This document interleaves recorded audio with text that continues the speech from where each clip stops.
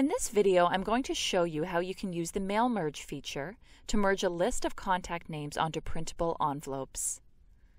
To begin, select the Mail Merge Expert by clicking on Tools and Mail Merge Expert.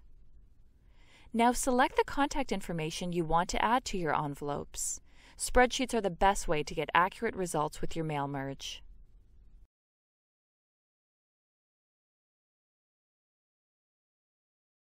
Next, from the Form tab, select Current Document, then choose New Document, and click Merge. And voila! You've got all your contact names ready to be printed out on your envelopes. Save time and reach more of your contacts only with WordPerfect Office Mail Merge Expert.